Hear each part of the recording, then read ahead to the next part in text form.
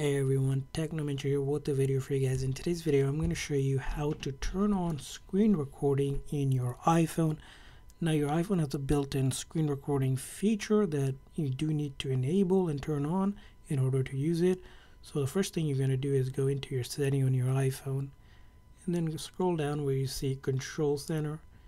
And from there on, you're going to see a bunch of options here. But if you go a little bit further down, there's going to be a section where it says screen recording. We need to click on that green plus icon which will add that feature right here. And now we have turned it on.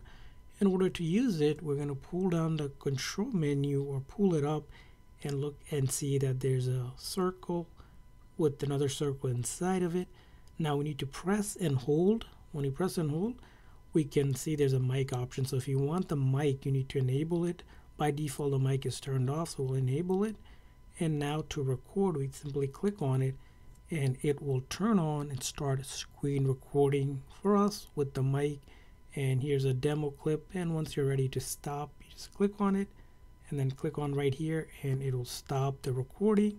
And it's going to be saved to photos. If I open up photos as you can see here now photos will have the screen recording for us with the mic. just like that. So that's how you turn on in screen record on your iPhone. I hope this video was helpful. If so, please consider hitting the like and subscribe button for more tips and tricks for your iPhone and other iOS devices. We'll see you guys next time.